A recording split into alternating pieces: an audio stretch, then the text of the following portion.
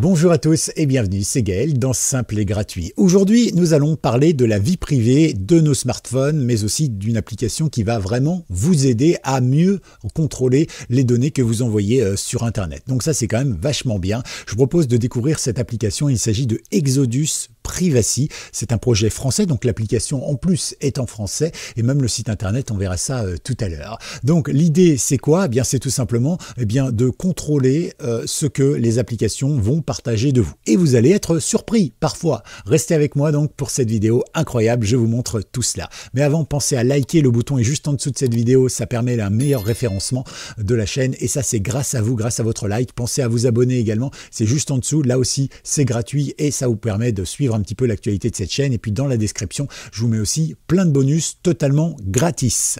Alors très rapidement, Exodus Privacy, à quoi ça ressemble? Eh bien ça ressemble à ça. Alors attendez, hop, je vous mets là pour l'instant. Exodus, eh bien en fait c'est un projet open source français qui permet de détecter les trackers et les permissions utilisées par les applications de notre smartphone. Un tracker, alors c'est quoi? Eh bien c'est un petit outil en fait qui va être inclus dans les applications ou directement sur les sites internet et ça va collecter les informations sur nous et puis bah, souvent à notre insu.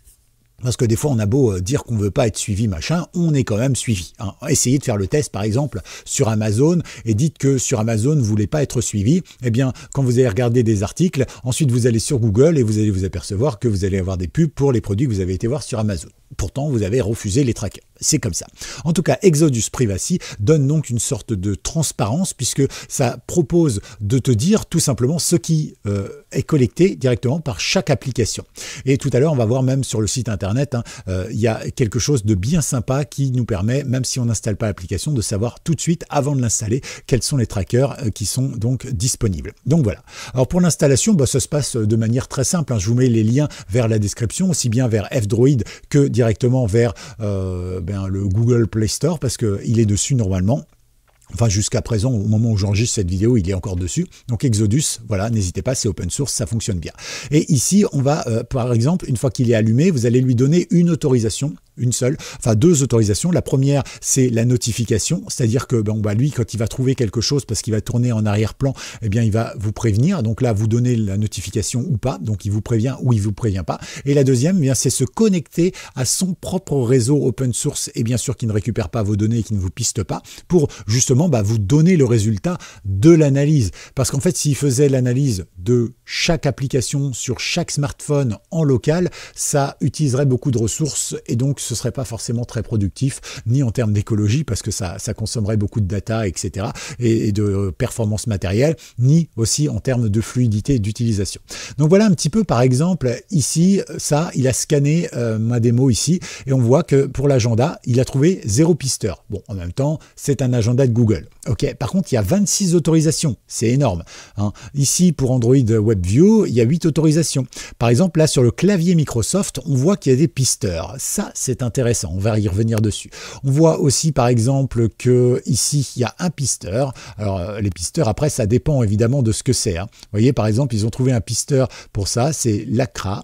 Euh, voilà, donc je sais pas trop ce que c'est. Ah si, c'est pour le crash reporting. Donc pour le crash reporting, ça veut dire que s'il y a une erreur, ça va envoyer un message d'erreur directement euh, au serveur pour dire, bah voilà, tel type de configuration, c'est anonyme hein, bien sûr en général l'ACRA, euh, et euh, tel type de configuration a rencontré tel problème, c'est pour aider à améliorer l'application. Mais ça ne prend pas évidemment vos données personnelles, donc ça c'est important.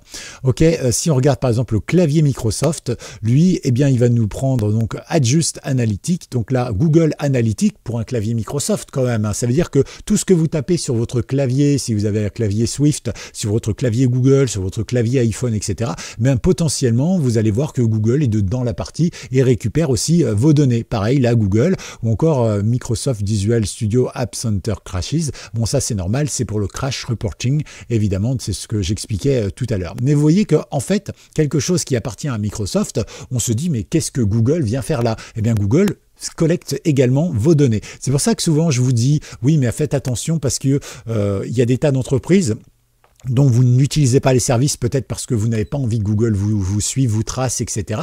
Eh bien, en fait, ils ont quand même plein d'infos sur vous parce que vous installez des tas de choses, d'accord? Donc ça, c'est important. Là, on a euh, tout tout plein de choses. Par exemple, sur YouTube, je vois qu'il y a sur YouTube Music, il y a un pisteur, c'est Google Firebrowse Analytics.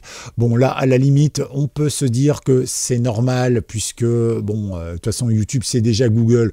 Donc, quelque part, que Google continue de surveiller Google, à la limite, ça dérange pas. Voilà. Mais euh, quand vous voyez, par exemple, pour le téléphone, bon, il n'y a pas de pisteur, donc ça, c'est bien. Hein. Et ici, par contre, 85 autorisations, vous imaginez, bah, c'est logique, hein, puisque des autorisations pour euh, le téléphone, il en faut. Il en faut pour pouvoir se connecter au réseau, il en faut pour accéder à votre liste de contacts, il en faut pour afficher le numéro, il en faut pour ci, il en faut pour ça. Voilà. Donc là, c'est plutôt sympa et les autorisations, vous les avez ici. Voilà, je vous laisserai les regarder. Vous voyez. Alors, il propose un accès à la caméra également. Alors, vous dites, mais pourquoi mon téléphone a besoin d'un accès à la caméra? Bah, si vous faites un call, par exemple, en, en call conf, comme on disait dans les années 80, euh, ben voilà, là vous pouvez bien sûr faire comme ça, ou alors prendre une photo par exemple de votre contact et l'ajouter. Euh, voilà, donc c'est pour ça qu'il y a besoin de toutes ces autorisations.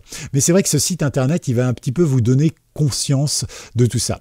Par exemple, j'ai installé euh, une application qui s'appelle Météo Radar, mais ça aurait pu être n'importe quelle application de météo parce qu'il n'y en avait pas là présentement ici. Donc, je l'ai installé spécialement depuis Google Play Store, hein, application gratuite. Et vous voyez que j'ai 29 autorisations. Bon, à la limite, on ne sait pas trop, on va voir un peu ce qu'il y a, mais j'ai 9 pisteurs. C'est-à-dire qu'à chaque fois que vous installez une application, en gros, euh, si elle est sur l'App Store, globalement, même si le service est gratuit, eh ben, vous êtes un peu pisté. Voilà. Alors, je ne sais pas pourquoi il ne veut pas me l'afficher, c'est peut-être parce que ça rame un petit peu.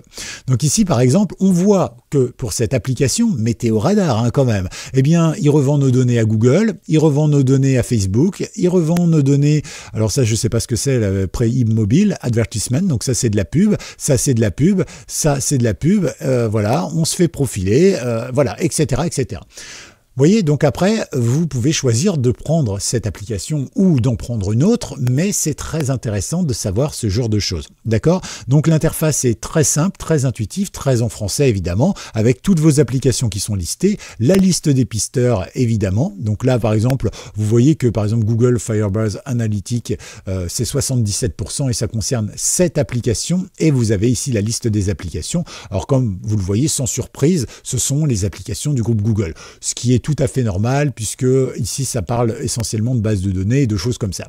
Vous avez le crash reporting, donc ça c'est normal que Google surveille son crash, hein, c'est tout à fait logique. Là où c'est moins normal, par exemple, c'est que j'ai une application qui me prend donc, eh bien euh, voilà, euh, donc les publicités euh, Facebook alors que Facebook n'est pas installé sur cette machine. Donc vous voyez, c'est un petit peu dommage. Amazon, pareil, hein, Amazon n'est pas installé sur cette machine, eh bien Amazon sait ce que je tape, ce que je recherche, ce que je vis, etc.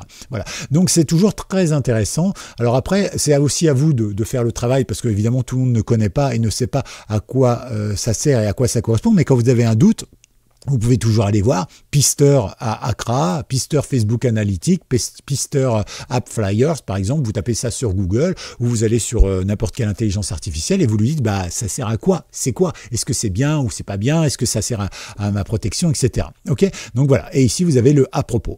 Alors ça ça marche évidemment pour smartphone, ça marche aussi si vous voulez aller sur l'internet. Alors je l'ai sorti ici directement, voilà, par exemple, et ici donc vous voyez vous avez le site. Alors le site de base, je crois quand vous vous connectez, il est en anglais, comme ça, d'accord? Et vous allez ici en haut, tout à droite, et vous allez ici sur français.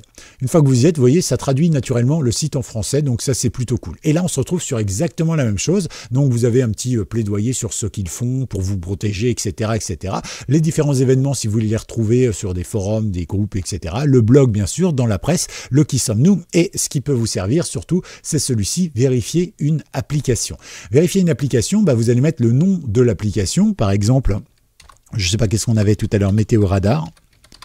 Voilà, on va, on va tester, voir comment ça marche. Et ici, vous voyez, il va me lister les, applications qui sont notamment présentes dans le Google Play Store. Et donc là, il est en train de, chercher un petit peu toutes celles qui peuvent correspondre. Et donc voilà, je vais pouvoir avoir ici, euh, bien après, directement en cliquant pour voir si l'application qui me plaît euh, est là. Et euh, je vais pouvoir, par exemple, me dire, tiens, si je tape Météo France, par exemple, ah oui, j'ai tapé Météo, Météo France, par exemple. Voilà. Donc là, il est en train de me chercher les choses. Météo France, par exemple, l'application Météo France, c'est 27 pisteurs quand même. Hein. On croit que c'est bien, c'est en français et tout ça, on est bien, on est cool, mais non, 27 pisteurs. Alors vous avez la version précédente qui n'en avait que 23. Hein. Mais vous voyez, c'est un peu fou. Hein. Tiens, par exemple, moi j'utilise une application qui s'appelle Météo Bretagne. C'est des passionnés, c'est une association qui fait ça. On va voir justement, tiens, euh, comment ils nous suivent Météo Bretagne. Voilà. Et euh, franchement, en plus, alors il faut savoir que Météo France, par exemple, sur toute la Bretagne, elle a deux stations météo. Donc quand ils font une analyse, c'en a une du côté de Rennes par là et une du côté de Brest par là. Donc quand elle analyse, en réalité, bah, elle vous fait une analyse sur tout le pays, qui est quand même plus de allez, si on prend entre Nantes et, Brest, il y, a, il y, a, quasiment 350-400 bornes, eh bien, vous fait une analyse sur deux pauvres stations météo qui recueillent des données aux antipodes en plus de ça. Alors que Météo Bretagne, elle a, euh, je crois, 70 ou 80 euh, euh, choses dedans. Donc, vous avez aussi les, les couleurs. Tiens, ça, je vous l'ai pas dit, mais quand c'est vert, c'est nickel. Quand c'est jaune, c'est attention. Et quand c'est rouge, c'est dangereux. OK Donc là, par exemple, ici, vous voyez que vous avez des tas de pisteurs qui sont dangereux pour vous. Par contre, ici, on peut voir que si je clique sur Météo Bretagne, eh bien j'ai euh, Google AdMob. Alors c'est de la pub, hein, parce que bah, évidemment c'est une application gratuite, alors ils essayent de se financer, ils ont un petit bandeau de pub, donc ça, bon, à la limite, pourquoi pas. Google Crash Lytic, donc ça, pourquoi pas. Et accès à la base euh, Google, ouais, ça, euh, voilà. Donc vous voyez, ça vous permet, alors faut pas devenir parano non plus, hein, parce que de toute façon, votre smartphone étant Android, par exemple, et étant Samsung, bah, vous êtes sûr que Android, donc Google et Samsung aspirent toutes vos données. Hein, voilà, pareil pour iPhone évidemment. Apple aspire toutes vos données. Euh, c'est comme ça. Mais c'est important euh, de voir euh, tout ça. Mais vous pouvez choisir la moins pire, du coup. Ça, c'est pas mal. Tiens, je ne savais même pas que Crédit Mutuel, quand je tape Météo Bretagne, cible. Ah ben, à mon avis, c'est à cause de Bretagne. Mais voilà, vous avez, vous avez toutes ces infos. Tiens, par exemple, ça pourrait être intéressant, justement, tiens, on va taper banque pour voir un petit peu ce que nos banques font. Voilà, par exemple, ici, c'est parti. Donc là, il va chercher, hop, donc ici, banque, donc ici 4 pisteurs. Alors ça, euh, voilà, vous avez 5 pisteurs, c'est en rouge. Le Crédit Agricole, par exemple, visiblement, l'application est bien mieux puisqu'il n'y a que 4 pisteurs et c'est en jaune. Vous voyez, la banque Pop, 5 pisteurs, etc., euh, etc. Alors je précise, cette vidéo n'est pas sponsorisée. Hein. voilà, donc euh, donc c'est pour ça que je me permets tout simplement de faire ce qu'on appelle du benchmark. Je regarde ailleurs ce qui se fait, comment ça marche. voilà, c'est pareil, hein, si vous utilisez, tiens, votre, par exemple, si on tape grande surface, on va taper euh, quoi Commerce, magasin. Allez, on va taper grande surface. Pour voir un petit peu, vous voyez que si vous avez, euh, du coup, est-ce qu'ici je vais avoir quelque chose? Non, il propose pas. Bon, alors ce que je vais faire, par exemple, je vais taper euh, Leclerc. Leclerc. C'est intéressant hein, parce qu'effectivement, on voit tout de suite, bon, Leclerc par exemple, Mont Leclerc, là il y a 10 pisteurs, c'est énorme, alors que Leclerc euh, Aho, il n'y en a que 4. Euh, alors je ne sais pas trop à quoi ça correspond euh, cette application-là, mais voilà, il y, a des, y, a des, pisteurs, donc là il y en a 10 par exemple sur Mont Leclerc. voilà, donc ici on voit que Facebook ah bah pourquoi Pourquoi est-ce que Facebook a un accès à mes informations que je vais quand je vais faire mes courses sur Leclerc? Pourquoi est-ce que Google a des informations? Euh, Pourquoi est-ce que voilà tout, ça on peut se poser la question? Oui, c'est pas normal. Eh bien, figurez-vous que du coup, quand vous allez sur Leclerc, visiblement euh, toutes ces informations que vous avez, elles sont données communiquées ou revendues à d'autres. Alors on va pas faire euh, de différence, mais si on va sur Carrefour par exemple, hop Carrefour, Carrefour, Carrefour, Carrefour, Carrefour, il y en a 7. Voilà. MQ, tout ça, je ne sais pas à quoi trop ça correspond, hein, donc il euh, faudra aller voir. Et ici, par exemple, euh, Huawei Mobile. Alors pourquoi est-ce que euh, Carrefour envoie ces données à Huawei Mobile? Voilà. Je vous précise que là, je suis sur le site internet, hein, pas sur mon appli qui serait Huawei ou quoi que ce soit. D'accord? Donc on peut se poser la question. Qu'est-ce qu'il y a d'autre? Super U, par exemple. Super U. Ok, hop. Voilà, après, ce sera à vous de chercher. Hein. Je ne sais pas trop. tiens, pourquoi il ne me met pas les applications. Alors peut-être que ça elle porte un autre nom l'application. Je ne sais pas. Hop, moi je suis pas trop application euh, pour, pour, pour faire mes courses, des trucs comme ça, parce que je trouve que justement, c'est inviter une grosse entreprise, en plus locale, à savoir qui vous êtes, ce que vous faites et, ce que vous surfez et tout ça. Mais globalement, vous voyez, vous avez des informations que vous pouvez euh, chercher et je trouve ça très intéressant parce que avant d'installer une application, vous pouvez vous poser des questions. D'accord? Ça vous permettra vraiment bah, peut-être de prendre conscience que c'est très important. Alors attention parce que ça, c'est valable pour Android. Euh, si vous êtes sur iPhone, euh, bah, ça va pas marcher parce que c'est vrai que, je prends un exemple tout simple, mais si une application comme euh, Leclerc voilà, elle va vous prendre euh, ben, 10 euh, pisteurs sur Android. C'est pas forcé que sur iPhone, elle va prendre 10 pisteurs. Elle va peut-être en prendre que 3, que 2, 0 ou 500 pisteurs. D'accord? C'est pas selon les plateformes, c'est pas la même chose. Donc ici, c'est bien pour Android. Voilà un petit peu donc ce qu'on a fait. Un tracker, c'est un outil qui collecte les données sur nous et qui sait ce qu'on fait, où on va, euh, ce qu'on aime, ce qu'on utilise, nos préférences, nos goûts, etc. Les permissions, c'est en gros euh, ben, ce qu'on peut faire avec le téléphone, c'est-à-dire est-ce que la permission euh, d'accéder au contact, d'accéder à l'agenda, d'accéder à tout ça, c'est bien ou c'est pas bien, hein, voilà. Mais les permissions, l'avantage, c'est qu'on peut quand même les choisir et presque les refuser, d'accord? Donc ça, c'est quand même un avantage. Et enfin, eh bien, voilà, vous avez certaines applications qui en demandent beaucoup trop et c'est pour ça évidemment que c'est en rouge. Voilà, donc n'hésitez pas, vous aussi, tiens, ce que vous allez faire, c'est faire des tests sur vos applications préférées, hein, par exemple ici ou directement sur euh, le site, et puis vous mettez, vous, hein, tiens, euh, euh, ce que vous pensez du score, d'abord le nombre de pisteurs, le nombre de permissions par rapport à, l'application que vous avez testée, peu importe, et après ce que vous en pensez. Tiens, par exemple, moi j'ai testé Leclerc, mon Leclerc, je trouve ça bien, c'est sympa. Bien, moi j'ai testé Super U, moi je trouve ça bien. par contre, ils prennent un peu trop de trucs. Moi, tiens, moi j'ai testé Carrefour, Casino ou je sais pas quelle autre enseigne, évidemment. Voilà. Et là, c'est important parce que du coup, on va pouvoir voir un petit peu, euh, bah, peut-être votre ressenti. Moi, ça m'intéresse. Donc, mettez ça en commentaire, hein, votre ressenti, vos tests, vos essais, etc. Ce que vous en pensez, euh, c'est important. Voilà.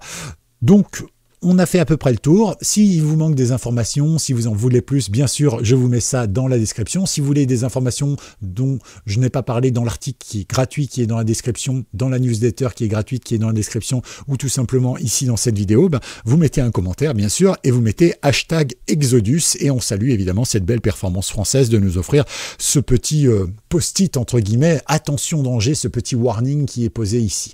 Voilà un petit peu ce que je voulais vous dire. Pensez à liker cette vidéo, c'est bon pour le samedi merci, et ça, je vous en remercie. Vous faites progresser la chaîne grâce à ça. N'hésitez pas non plus à partager cette vidéo à d'autres. Et puis, n'hésitez pas, vous êtes les meilleurs ambassadeurs de la chaîne. Pensez à vous abonner, c'est gratuit. Le bouton est juste en dessous de la vidéo. À tout bientôt, c'était Gaël. Ciao